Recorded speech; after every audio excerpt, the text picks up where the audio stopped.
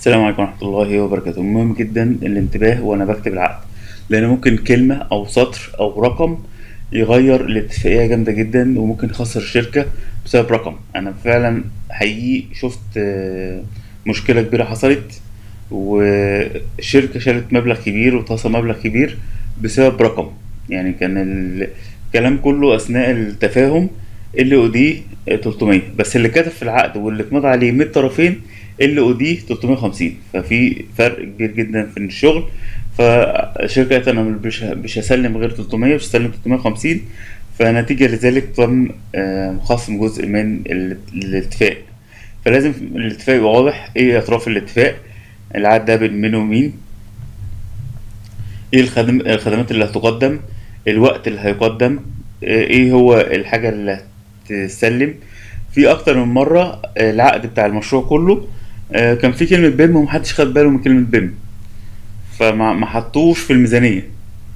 فلما جم يتكلموا معايا بيقولوا إحنا مش حاطين حاجة في الميزانية للبيم. فلازم واحد يخلي باله وهو بيكتب ال... ال... الاتفاق. تمام؟ التعريفات نفسها ال- التسليمات هتبقى عاملة إزاي. ال- العقد بيبقى أقوى في المشاكل أو في الاتفاقيات من أي حاجة تانية أقوى من ال BIM execution plan يعني لو في كلمتين ضد بعض لا إحنا بناخد العقد أكتر من ال BIM execution plan إيه هو ال standard اللي هنشتغل بيه؟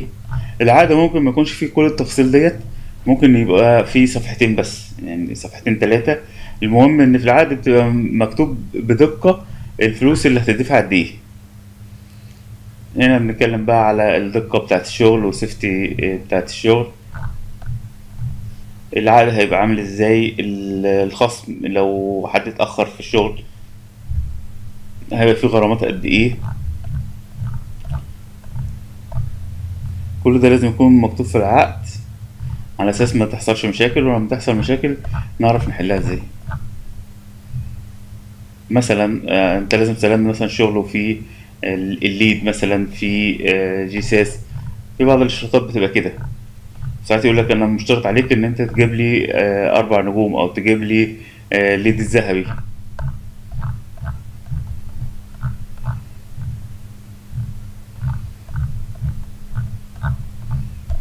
وزي ما بقول لك ممكن العقد يبقى صفحتين ثلاثة مش لازم كل الكلام دوت. ال project budget قد إيه؟ ال payment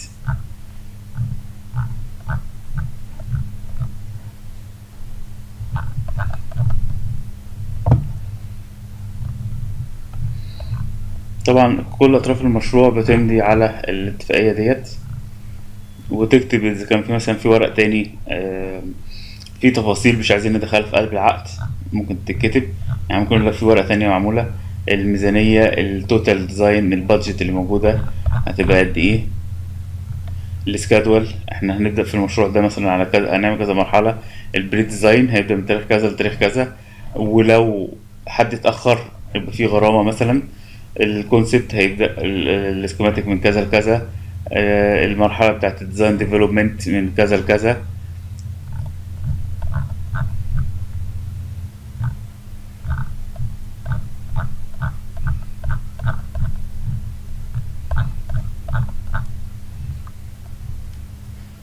ال fees بتاعتنا تبقى إزاي؟ والتسليمات هتبقى إزاي؟ اللي أنا متوقع إن إحنا نستلمه. فكل الحاجات دي بنبقى متفقين عليها من الأول.